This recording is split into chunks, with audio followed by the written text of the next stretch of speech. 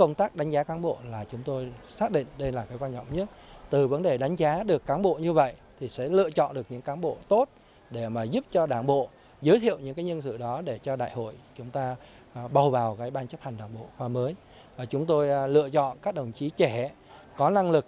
thậm chí có những đồng chí mà dự kiến cơ cấu ở ban chấp hành để mà cơ cấu cái nguồn cán bộ sau này của huyện thì chúng tôi đưa các đồng chí đó đi cơ sở đánh giá ở tại cơ sở sau đó là xem xét lấy ý kiến ờ, từ nhiều cái nguồn từ cấp cơ sở từ các cơ quan đơn vị cũng như là ngay cái việc đánh giá thực hiện hoàn thành tốt các cái nhiệm vụ có những cái sản phẩm cụ thể. Có thể nói là đại hội cấp cơ sở, đại hội cấp trên cơ sở hiện nay chúng ta về công tác chuẩn bị nội dung, ờ, thông qua nội dung rất là sâu sắc, rất là cụ thể, ờ, chuẩn bị nhân sự và thông qua đại hội để bầu nhân sự thì không có sơ sẩy một cái trường hợp nào ở cấp trên cơ sở. Thì đây là cái khẳng định so với cách làm trước đây ờ, chúng ta đã được ờ, quán triệt và thực hiện rất nghiêm túc cái chỉ thị 35 Bộ Chính trị.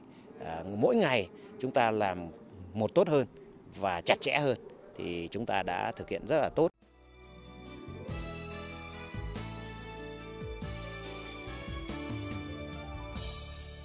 Đảng đã cho ta một mùa xuân để ước vọng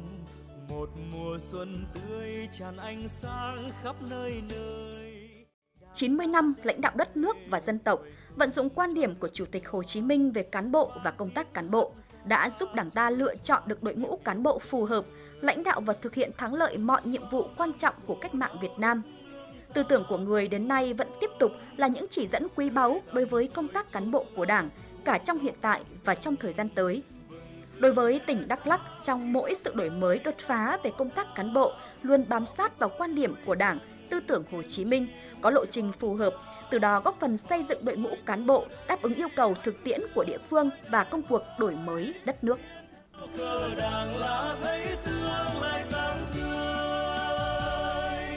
Đảng đã cho ta cả mùa xuân của cuộc đời